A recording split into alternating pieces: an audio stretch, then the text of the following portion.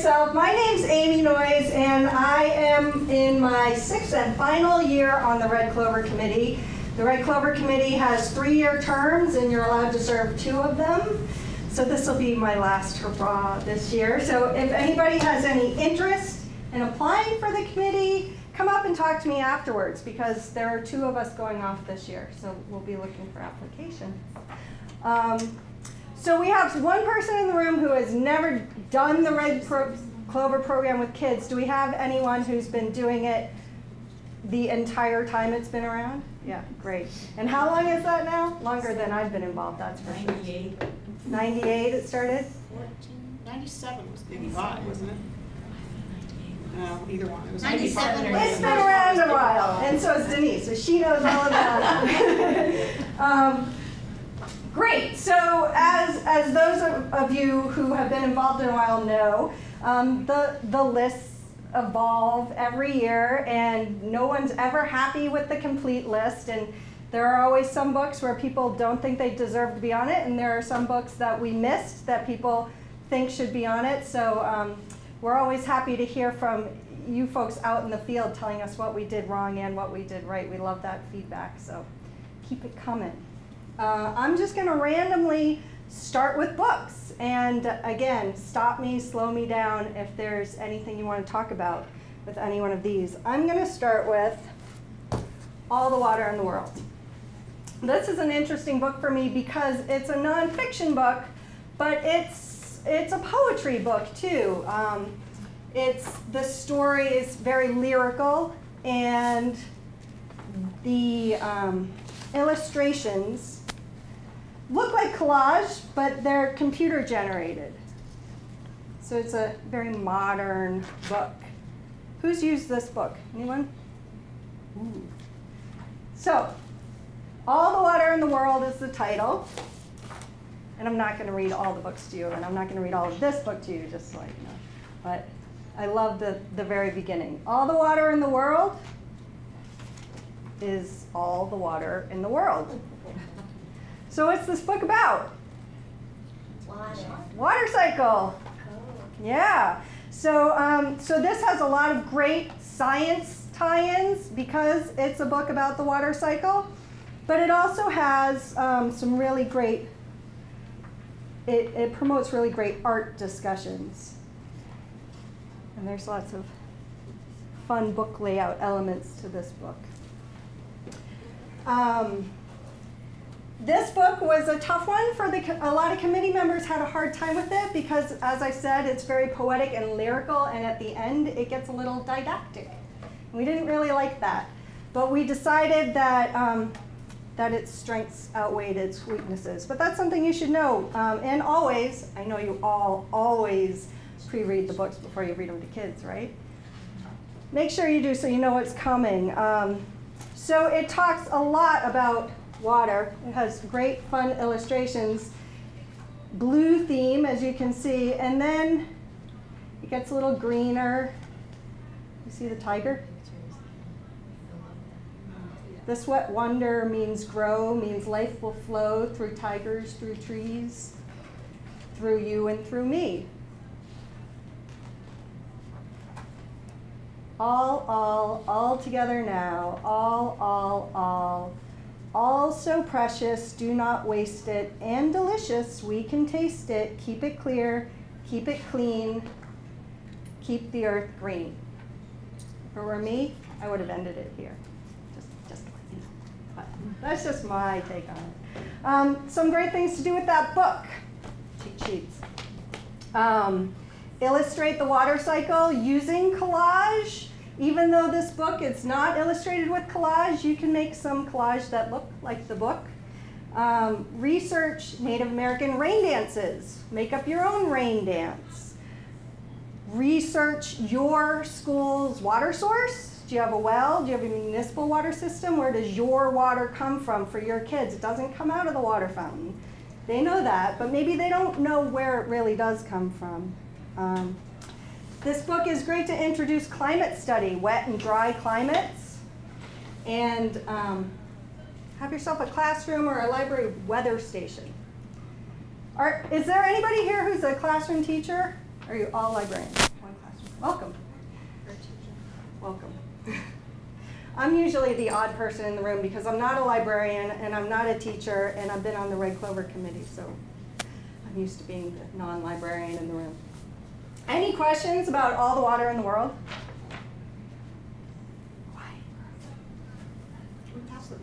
Absolutely. It's no worse than having an iPad or a. We are Device no tech, right? we are no tech on the Red Clover Committee. So I'm gonna go to Neville because somebody mentioned Neville, but first I wanna show you the, um, has everybody seen Neville? No. It's uh, Norton Juster's new book. How great is that? So one of um, one of the suggestions we had for Neville is just to take a look at the cover, take a look at the title page, and have the kids try to predict what this book is about. What do you think this book is about? Anybody? Any ideas? Who doesn't know? What's that? Two friends. Two friends. Echoes? Echoes? Yodeling? Yeah, we could get some great guesses going here. This book is actually about a little boy who is moving to a new neighborhood. And moving into his new house. And he goes outside to check out the neighborhood. And he starts calling, Neville! Like he's missing a cat or a friend or something, but he's Neville. And you don't know that till the end. Sorry, spoiler alert. Um, but anyway, all the kids from the neighborhood start coming over and help him call for Neville. And uh, it gets to be a big party after a while. And then he goes home at the end of the day. It's dinner time. Everyone wants to know about Neville. Does he play ball? Is he smart? Does he like to read? And Neville doesn't really answer any of those questions. But he goes home and his mother tucks him in and says, Good night, Neville. And that's when you know. Or when you know for sure. Anyway. So prediction is a, is a fun thing to do with this book. And let's see. Fonts. This is a great book to experiment with fonts because of that page where everybody was yelling Neville and it, and it looked different. And one of the activities I really liked is to either use a computer or have the kids design a way to write their name that says something about them. And then you can put them all together on a big collage or a big bulletin board, and you'd have everybody's name up on the board in all sorts of ways. Yeah, nice let's see. Isn't that a fun one? Yeah, a good get to know you type of activity. Yeah. We're um, sometimes sharing the Red Clover books with the upper grades at the school. That you know, for the thinkers are a little bit like. Right. So, um, and, and with a book like that, I often give the them clipboards to record ideas, and so I would actually have them write their own question for Neville. What question would you ask Neville? Just to have them interactive with it. Right. Great. Great and, suggestion. and letting kids yell in the library is always a great idea. Great. um, the the illustrator Brian Karas. Am I saying that right? Librarian. Okay. He has he um, uses Google SketchUp to illust- to help illustrate this book, and he has a YouTube video about using Google SketchUp. So that's another great thing, with, especially with those older kids. If you want to go online to YouTube and check out his video on Google SketchUp, and um, can't read my own writing. Oh, just examining the book design because this book it was designed really well. I mean, you can tell just right here from the start, but it's got some really neat elements. So, if you ever do book design walkthroughs with kids, picture books are great books to do that with, obviously, but um, this one is especially good. Any more on Neville? Who's got a favorite book up here? We'll do it next. Oh, sorry, sorry.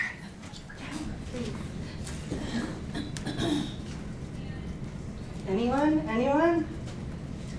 All right, we'll go with Three by the Sea. Anyone know this book? Take my little stickies off of it.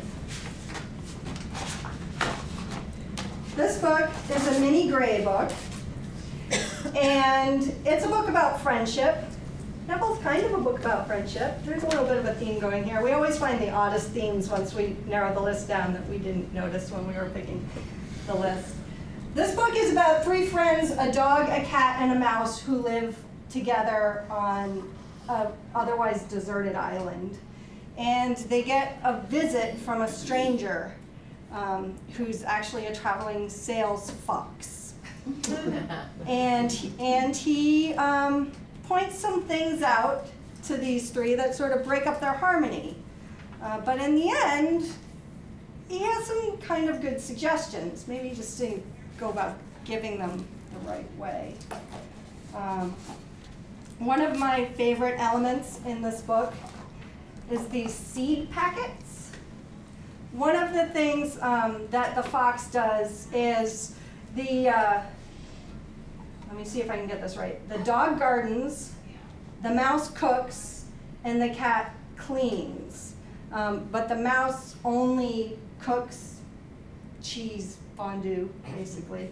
And the dog only plants bones in his garden.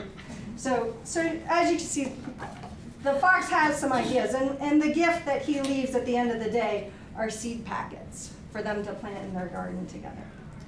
So some art connections with this book. Um, my favorite is design your own seed packet. What's your favorite garden food? Design a seed packet for it. And, an, and another kind of fun one is, what unusual garden would you plant? Dog's got his bone garden. What would you plant? Reminds me of Farm. Yes. An odd story. They're odd story. yep, so I'll just uh, read you a bit of this one.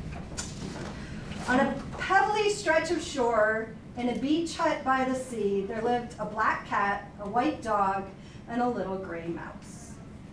I love the eye patch, which you can't really see from a distance. Um, the dog tended to the garden. The cat took care of the housework, and not very well, as you might guess. The mouse looked after the cooking, and they lived happily, or so they thought. And that's where it starts to get interesting. Here, I'll pass this one around too. See, I'm getting better. so, um, I, here it is. So some friendship activities that could go along with this. Um, charting good friend qualities versus sort of false friendship traits. You know, Red Clover loves graphic diagrams, so you can always get into a nice T-chart there. Or um, comparing and contrasting um, the fox in this story versus foxes in other stories you might read. You know, why, why, does the why is the fox often the trickster? Uh, what character traits does a fox carry with him? And, and what about a dog or a cat or a mouse? There's a lot of books like Despereaux where the mouse is the cook, Ratatouille. Um, so different ways of looking at how those different characters are portrayed in this book and in other stories that the kids might know. And um, we talked about the seed packets already. So. Any questions on Three by the Sea? It's a fun book. It really is. Are they making their way back to the back? Everyone getting their eyes? Excellent. All right. I bet a lot of you have seen Grandpa Green. Have you? Yeah. What do you think of this book? Anybody? Hmm. You love it? You didn't love it. The committee was really split on this book. I didn't. um, this is a lovely book um, for adults, and some people thought it might not have the kid appeal of the other books. So that's that's something to think about. going forward with this book. It's a book about, um, it's told through the eyes of a little boy whose great grandfather is a gardener. And he has these, this topiary garden. And so the topiary tell the story of his life. Giant carrot, for any of you not, not familiar with the book. Um, so he used to live on a farm. In fourth grade, he had chicken pox. Um, he had to stay home from school. This looks very Wizard, Wizard of Oz-ish. He was in World War II. Uh, and so one of the fun things to make this book more appealing to kids is to take a couple book walks through it. Read it, and then take a book walk and really look at the topiaries and discuss how they relate to the story. And then you could take a second book walk and look for the items Grandpa has lost. On every page, there's a little something. Grandpa's getting a little forgetful, great grandpa. Uh, and so he keeps leaving things behind in the scenes. And as he goes, the little boy is picking up those lost objects and putting them in his wagon to bring them back home. So that's another fun way to walk through the book. Maze. Any other ideas for this book? Anybody? Yeah? I mean, I don't know if any other, depending on what group you'd be doing with, if there was a class that looked at, you know, generations, if they were talking with, uh, you know, their family and trying to, you know, stories and learning about family and culture. um, Absolutely. That that would be a great time. Yeah. Um, oral histories are, are one of the things that this book is really great to promote. So, you know, you could invite grandparents in or partner with a historical society or a senior center in your community and have the kids ahead of time brainstorm questions to ask some of their older neighbors about their life and, and then have them sit down and interview them and record an oral history. That's a great project that if you want to throw a little booth up at town meeting and show your oral history project, a lot of people would, I, I'm sure, be interested in visiting that. Um, other ideas? Yeah. I don't know how people feel about using technology with the, with the Red Clover books, but um, this We love past it. year, I've started using the document camera quite a bit more, um, especially when it comes to examining illustrations in a lot of detail. What's the name of it again? a Camera? document camera, the Elmo. Oh, the to Elmo. Show the individual pages. I used it with Art and Max a lot this year. But I always made a point, like in the middle of it, when there's a double page spread, of saying, okay, don't look at the screen now. You have to look at the book because you won't get the full effect unless you look at this whole Right. thing. But I might very well use it with something like that, especially going through it two or three times. The first time I would use the book, and then I would say, now we're really going to look at the illustrations. It's Great Because idea. it blows it up to, you know, Let them really look three or at it four feet by three or four feet. Nice. you can really Nice. As a little aside, um, that's, that's one of the things that comes to the table every year when the committee's selecting books, is um, we, we walk halfway across the room from each other and say, can you see this? Because Yeah. that's really important. You have to be sharing these books with the group. And, and some, as you know, are right at your toes, but some are back, you know, quite a ways. So we try to pick books that have illustrations that can be seen by a group, but um, in, in, inevitably, there's um, exceptions. Is Disney World still full of topiary? I haven't been there in a long I time. haven't either, but I'm But sure my it kids. To the kids, I said, you, you've been to are. Disney and do you remember how they carve all the bushes? Really cool. Nice. I've Let's take a look at this. And a lot of kids that have I- seen that, I'm I think my sure. kids connected to that really well. Nice. I read it during when we read award winners. but Yeah, They'll great. hear it again next year. One other aside, I mean, there's They a, I did a workshop did at like the, I think it was at the DCF conference last week on the book gardens that are at, um, I think it's here at Champlain. Really? Um, and they, at St. Mike's, they have, um, um, gardens that are based on individual books, like the Harry Potter garden, where the vegetation is all based on like privets Oh, and, and words from the book. And then they have a stonemason who will inscribe stones with words. Wow. So that's just the Harry Potter garden. There's a word garden that works like those poetry walls, you know, where you can move the stones around and recreate different poetry. And that would be a great service learning project. at the school. Absolutely. Really cool. Great. Yeah, and planning a school garden, you know, that's, that's another idea. Go ahead. And just give each kid a rectangle of green paper and a pair of scissors and see what the, you know, see, let them see the challenge of making a topiary. Because once you make a cut, you just made a cut.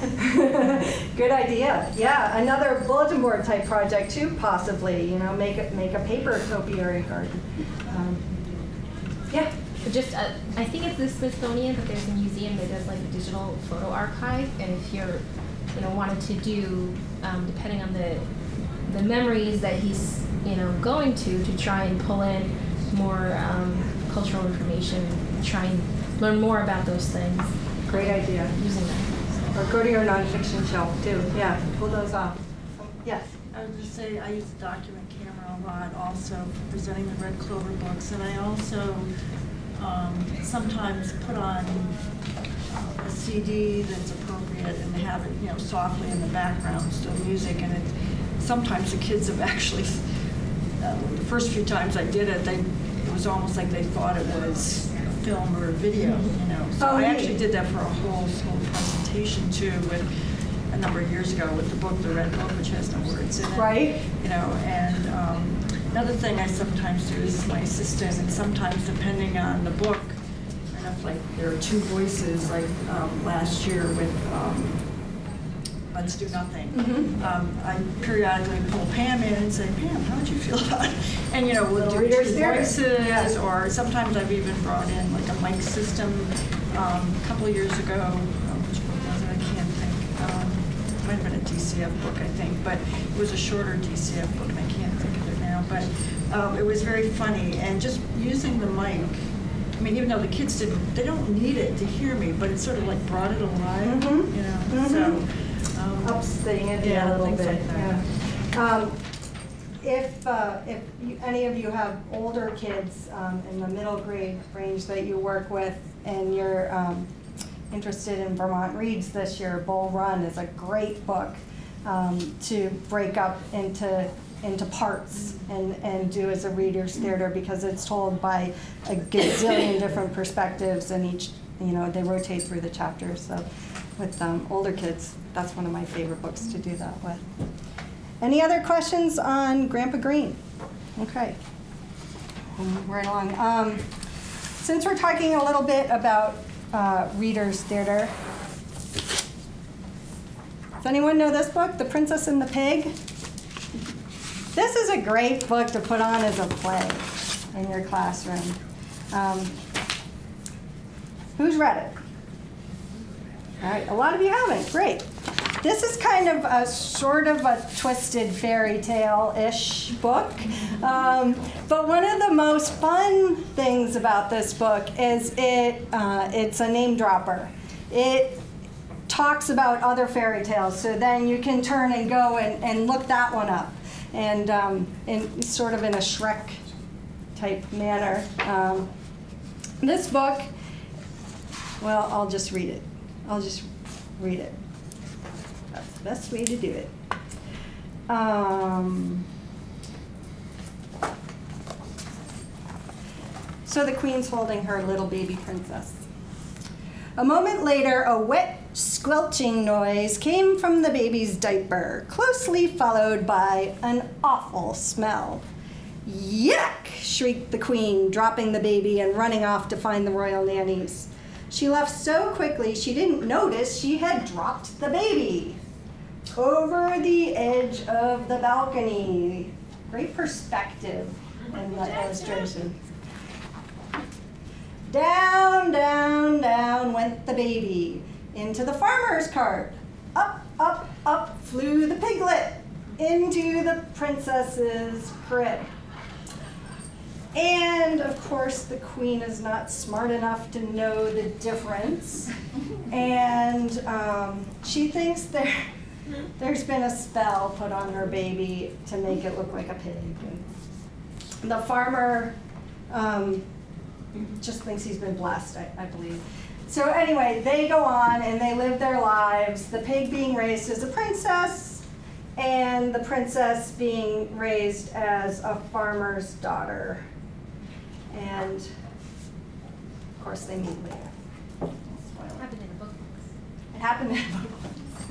Um, can a pig really become a princess? So, um, fun, fun book, and a great one to put on um, with, with kids. Pass it on there. Um, so, as I said before, um, read the fairy tales cited in the story and then compare and contrast. We love compare and contrast. Um, compare and contrast the lives of the princess and the life of the pig. Um, and another uh, really fun idea with this book is to put on a medieval feast, or if you have, if you can work with the whole school, put on a little medieval fair. Um, lots of history tie-ins, even though it's just a silly story. Any other ideas for that book? Most of you haven't read it, so no one put you too much. There's, the there's another book like it, Mrs. Potter's Pig. Oh, I don't know that one. Yeah, it's a lot like it. She, the,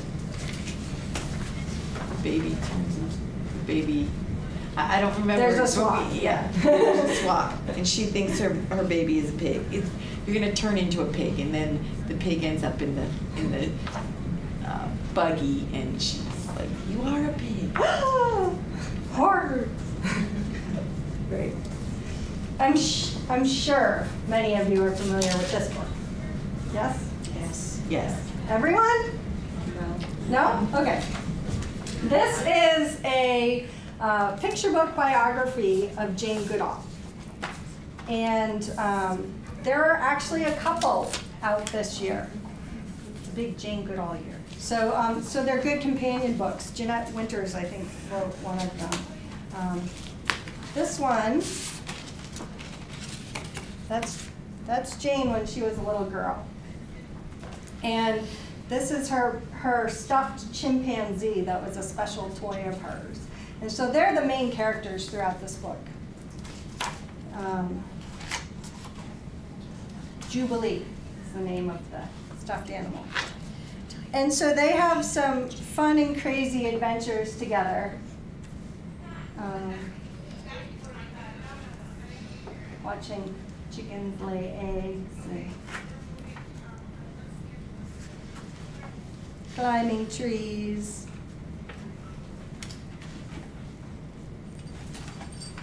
And dreaming of life in Africa. There's sort of two kinds of illustrations. There's the general illustration, then there's these sort of rubber stamp uh, punctuations on the other page, which are interesting to go through and look at.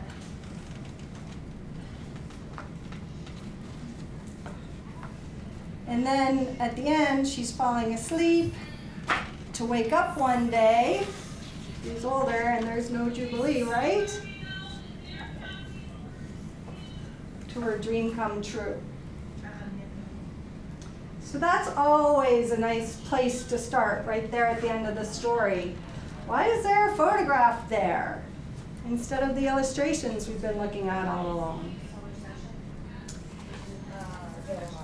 So, and, oh, before I pass it along, there's some really great back matter, of course.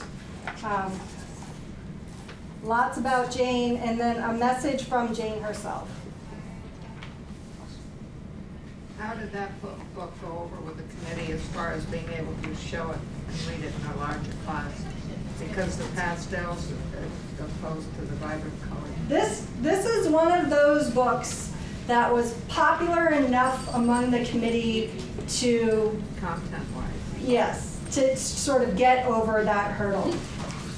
Most Red Clover books aren't this small to start out with, and then you're right, they're soft colors, there's detail in the illustration. It's a hard group read, um, but Kids love it. The kids Yeah, but love even the it. content. But the content For overcame that, group, yeah.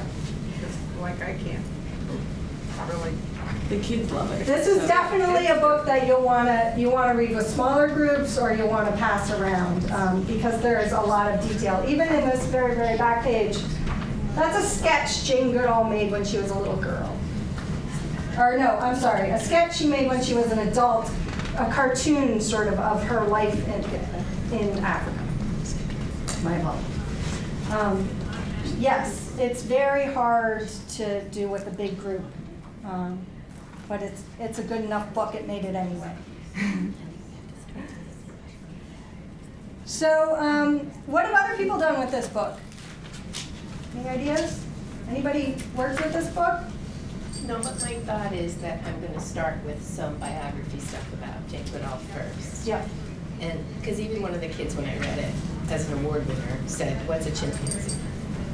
Right. So, you know, I think I, I wanna do a little bit of, this is Jane Goodall, and she spent her life saving endangered species, and before I get into how she. Absolutely, absolutely. Make sure the kids know who she was. Right. And, uh, and, another, and a good way to do that is to talk about her passion and talk about their passions. Maybe have them write a paragraph or tell a story about something they're really passionate about so they can make that connection. Uh, what I like about this biography is it can make connections with the youngest kids um, because of Jubilee. Um, so what, what's your favorite toy? Can you tell us or write about an adventure you've done or real or imagined with your favorite toy? So they can, they can sort of buy in on that level One too. thing they don't connect to is the Me Jane, because none of them have seen They Tarzan. it's They don't know who Tarzan is. But there is a Adam, you Disney know. Tarzan now. Oh, there is? So, yeah. So you should have watched those Tarzan, I watched those Tarzan movies. I do that. Right. So, um, so another another great idea connection with this book is to write a dear me letter to your future self. Um, you know, hopefully those kids are, can write a letter to themselves, envision themselves doing something that they're really passionate about, um, and, and being an adult and, and having that be a big part of their life. Um, let's see. Uh, yeah, and, and before you even read the book, maybe just ask the kids, do you know who Jane, you know, who is Jane Goodall? What do you know about her? And have that conversation maybe before you start the read. Um, and then um, she's a scientist, so you ought to try for a science tie-in. Um, one suggestion we had was to pick if there's a classroom pet or, or a plant in the library to maybe um, start an observation journal with the class and have them observe the changes and, um, and realize how tedious that is, especially if it's a plant. Um, but it could be a good way to, to tie in with some of what Jane Goodall's really about. Any other comments on that one? Questions? We've got plenty of time. This is one of my favorite books on the list. I'm partial to nonfiction, I guess.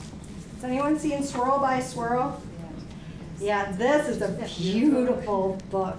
This is another book with nuance. Um, you're not going to get everything out of this book unless you can hold it on your lap. But you can get enough out of this book with a group, um, and then hopefully the kids will check it out and take it home. Um, the illustrations, this is Joyce Sidman who, who wrote the text, and Beth Krommes did the illustrations, and they're just gorgeous. And the book design is so cool because swirl by swirl, it's, it's about spirals. And you can see the text goes into a spiral. And these are spirals found in nature, which is what the book's about. And then check out the copyright page. Yeah. Isn't that awesome? I love the copyright page. Um, this book can be read straight through as a story. It does, it's nonfiction, but it, it has a story. It holds up. Um, so you can read through the big print and then go back and all these swirls found in nature, those are all labeled. So there's lots of opportunity to research, um, you know, What is an eastern chipmunk and why is it curl up underground? Oh, there he is again. These are really fun to pick out the swirls. Um, have, has anybody worked with kids with this book? I haven't either, but I know it's going to be fun. Um, millipedes, land snails, and even the fox.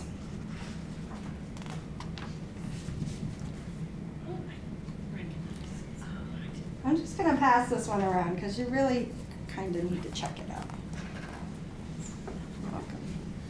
So um, we haven't talked about too many physical movement activities. This book is a great one. Has anybody done a human spiral where you have everyone hold hands and then you go into a spiral and spiral out and spiral out? Um, that's a really fun thing to do with a group of kids. Um, and the bigger the group, the better.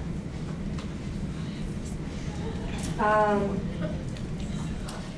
it's got obvious science tie-ins because it's a nature book, but it's got math tie-ins too. You can talk about the Fibonacci series and um, go outside and go on a Fibonacci hunt. Uh, if you have a school garden, that's a great, great place to go looking. Um, just in the woods, pine cones. Um, there's some, there's some I forget the name, but there's a good Fibonacci book out there too that'd be a great companion for this book, um, especially if you're going to go on a hunt, on a Fibonacci hunt. And, um, and one of my favorite writing activities for this book is paper plate poetry. So start out with the paper plate using the Fibonacci sequence challenge the kids to write a poem. So one word, one word. Uh, Does anyone know the sequence off the top of their heads? Probably have it. Yeah, I got it here. Five, three, five, eight. Oh, you're good. Yes. One, one, three, five, eight, thirteen. So it, that could be words, that could be syllables, um, you know, depending on what age groups you're working with. Um, so, and then try to write it the way they, they wrote that copyright page on a paper plate. Any other ideas? We could start a little museum if they all brought in some examples of spirals. Excellent. Like Yeah. pasta like that. Yeah. Showcase. Go home and bring back three spirals. I'll thousand kids. Okay, one. Bring back one spiral. I'm from Woken. um, yeah, there's some, some really great ideas uh, that lend themselves to a book like that. And spend some time with it because it really is gorgeous. Questions? Is there anything I'm not hitting on that you're dying to hear? No? Anybody need to stand up and stretch? Break time? No. Okay. We'll keep plugging away then. Blackout? Yeah. Yep. People have seen this one? I think this is a fabulous addition to the list this year because it's an urban book. And a lot of our kids don't get too many urban experiences. So it's really nice to be able to introduce them to an urban experience in the library at the picture book level. And and they can understand because a lot of them live in places with unreliable power sources and the lights go out. Um, when my kids were growing up, it seemed like the lights went out every other day. We don't live in Hyde Park anymore though. So it was Morrisville Water and Light, it wasn't Hyde Park's problem. Anyway, it's about um, the lights going out in the city at night and how one family turns that into a positive. Uh, I just want to show you this page of them on the roof. What does that bring to mind? Is that familiar to anyone? Starry Night. Starry Night, yeah. And you know, even the kids knew it. I was surprised. Yeah. I've seen that painting enough. That, That, how old? How old were the oh, I think I read it to second and third graders. Yeah. Fabulous. Yeah, so, you know, if you can pull up a copy of Van Gogh's Starry Night. That'd be a great thing to compare this to. And then have the kids try to draw a, a star scene in that style. Yeah. Um, I was just gonna say, when, when I read it to the kids, they liked it very much, but the concept they had the hardest time with was the big city thing. They Mhm. couldn't get the idea of a building more than three stories tall. Right. And so I think when I do it as a Red Clover rather than as an award winner, I will have some photographs of skyscrapers. Great idea. Because they Yeah. really had a hard time with that. Some of those kids haven't been to the city. No, And- And that's they a haven't. really hard thing to just imagine.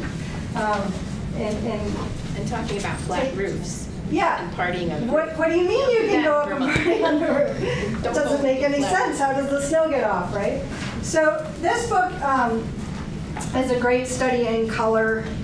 Um, lights on, and then it goes into blues and blacks when the lights go out. So if, if you could partner with an art teacher and maybe work on drawing yourself as a silhouette or drawing a night scene, um, that's a fun thing to do. You can see the, the transition. And then, dot, dot, dot, the lights went out, all of them. So the storyline, a little predictable, but fun. Um, Mom! Ah, the lights are out. What are we gonna do? It's okay. We have a flashlight. We can play games. We can go up to the roof. We can see the stars, which you can't do in the city when the lights are on. Um, shadow puppets, another fun thing to do with your class. Flashlight tag, shadow puppets, lights out games. Um, and then when the lights do come back on, they were having so much fun, they decided to turn them off. Turn them off and keep going with a candle. Um, let's see. I lost my cheat sheet. Okay. Has anyone else done activities with kids? Here's, here's page I wanted. I love the bunny. Isn't that fun?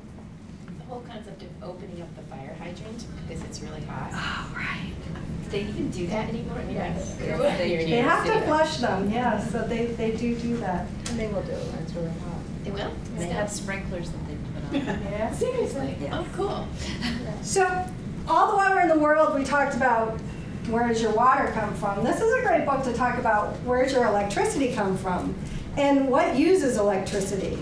So um, maybe a hunt around the library or the classroom looking for objects that use electricity, and then a second hunt looking for things you could use instead that don't require electricity. You know, the computer doesn't come on. I need a pad of paper and a pencil maybe. Um, I'm sure you, you'll get more creative than that, but there's one thought. Go ahead. Yeah, If I'm talking.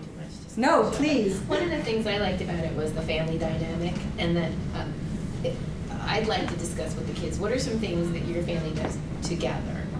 Because, you know, the book starts out, everybody's doing their own thing. Right. And then, because of the blackout, they come together, which is what the little boy wanted. Yes. To talk, you know, we're in a society now where it's very hard to come together as a family, I think, without making an intention. Right. And how do families do that? You know, what are, what are different ways? Um, it's a great, it's a great book to promote family game night, or um, you know, I'm going to get the name of this wrong, but No Screens Week. Is that No TV Week? And then they they've updated it to No Screen Screen Free Week. Um, so um, one idea is to host a Screen Free Week and have uh, kids plan the events, put up the posters. You know, what are they going to do? Invent games? Lots of lots of fun things. I don't know if it was, if it will be as big a thing next year, but I know that every time we talk about things like power outages or whatever, Irene comes up with my kids.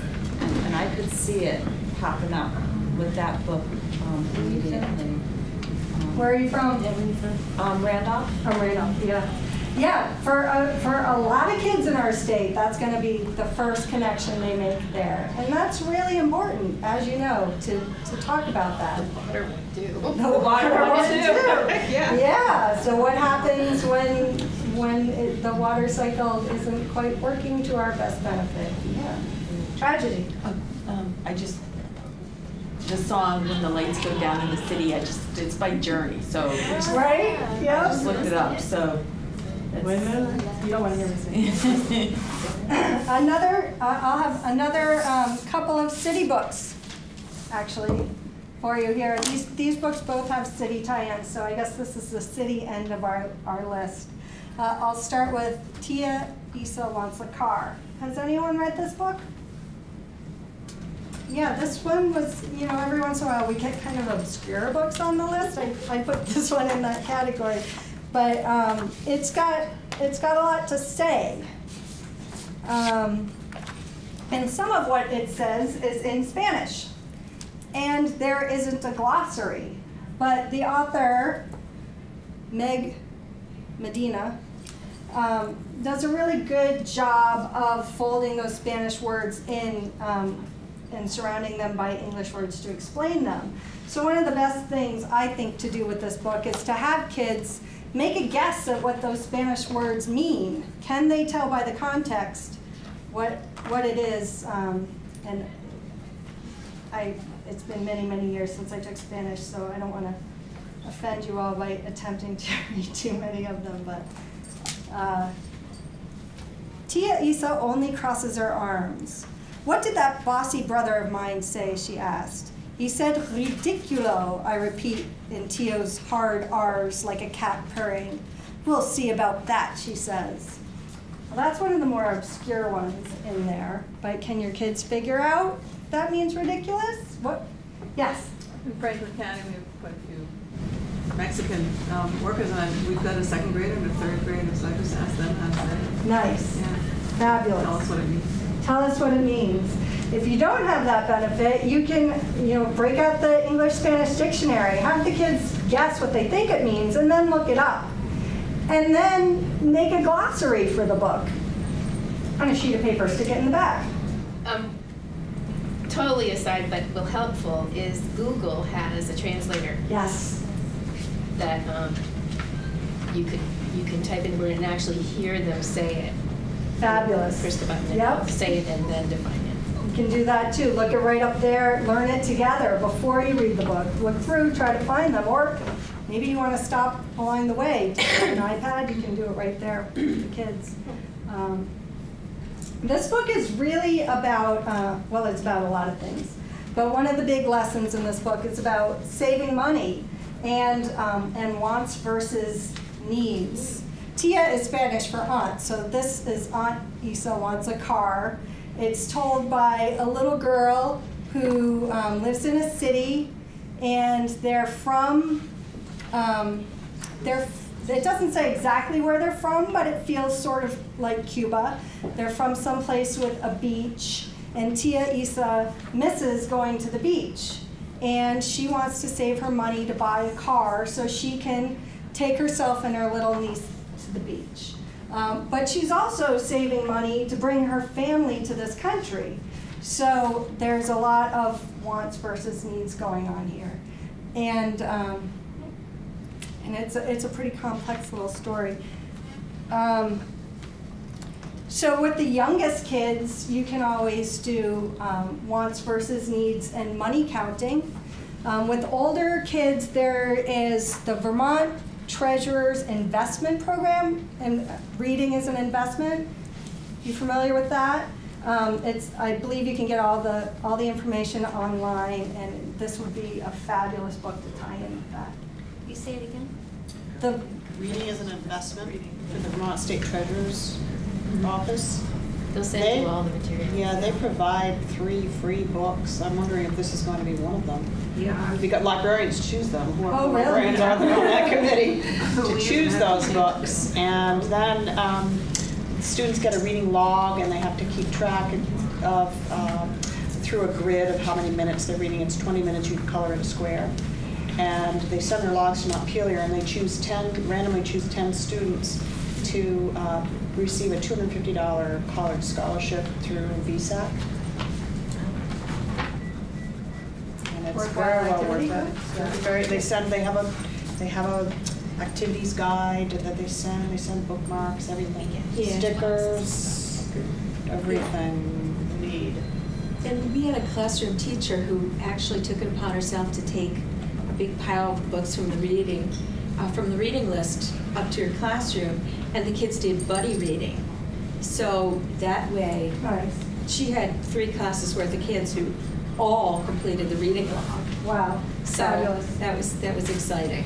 Nice. We also had Bank North come and read to our kids a couple weeks ago. A lot, a lot of the They're local willing to do banks that, will do that. Banknorth, um, in, in my part of the state, Union Bank has an in-school banking program. And, um, they're great people to invite to come talk to the kids. Um, They actually read stories and gave us the books and gave every kid Nice. a piggy bank. Wow, cool. Yeah, cool, pretty cool. cool. And, um, TD Bank, I assume they're gonna do it this summer, every year does a, That's what I meant. Oh, oh, okay, Th- yeah, because it used to be Bank right? They, they, old, they do a, um, a reading program where they encourage kids, I think, to read ten books over the summer, and they'll open them up a savings account and put ten dollars in it if they read ten books over the summer. And they have, I think, a bookmark where they can keep track, or a bookmark in a log. Um, So call your local bank, see what they have. They, they like to get young customers. Uh, in this city is New York City. Has anyone worked with balloons over Broadway? Another one of these. Yep. So, uh, this is by Melissa Sweet. It's the true story of the puppeteer of Macy's Parade, Tony Sarg. He's the guy who invented the big balloons for the Macy's Thanksgiving Day Parade. And um, he, he worked for Macy's. He started out doing window decorations for them, and then they said, hey, we wanted, you know, why don't you design a parade for us? We want to do a parade. Um, because they had, I guess, a lot of immi- immigrant employees, and they wanted to do a parade for them, if, if memory serves me well. So Tony Sarg had done all these sort of interesting puppets and toys, and he designed the first parade, but so many people turned out that they couldn't really see the parade walking down the street because there, there were too many people in line. So he devised the idea of the balloons so everybody could see. I'll just read it to you. But now the sidewalks were so packed with people that only those in the first few rows could really see the parade. Tony realized his puppets would have to be even bigger and higher off the ground. And though the sticks helped to steer the puppets, they were stiff and heavy. Tony wanted his balloons to articulate, to move and gesture like more, more like puppets. But how? Great vocabulary in this book. With a marionette, the controls are above the and the puppet hangs down. But what if the controls were below and the puppet could rise up? And then she goes on to tell the story of how he how he figured out how to make these giant balloons. I love this book. So again, it's another city story, um, but it's really a biography, and it's got some really fun illustrations. How do you keep the balloons from bumping into the buildings? You know, there's lots of problems to solve. Um, so puppet making is an obvious jump out on this one. What would you do with this book? Take the kids to the parade. or have a parade. Field trip. Take them to a parade. If you can't find a parade, have one of your own. Um, uh, Tony Sarg has an animation video on YouTube uh, about silhouette puppets. Uh, so that's something you could look up. And one thing I didn't mention is we're seeing more and more every year really great author websites with really great activities on them. So make sure you check those out. Typically, it's the authorsname.com in, in most cases. And um, they're usually printed right in the books too. They have, I don't know if it probably is on YouTube, I don't, I'm not able to do much with YouTube, but, um, more than the parade, I think would be watching them blow up the balloons the night Yeah. before. Oh, I'm sure that's on YouTube, yeah, yeah, great idea, yeah. Um, So, Tony Sarg started out making these um, window displays that were called Wonder Town. So that's something you could do in a library or classroom too, to make your own Wonder Town display. Um, You don't have to create balloon puppets. And uh, if you're looking for a good field trip, the Bread and Puppet Museum is a fun one. It's a haul for most of you, I'm sure, but it's, it's worth the trip if you can get there. Uh, I know busing's expensive these days, but that's a good one to shoot for. That is this year's Red Clover list. Um,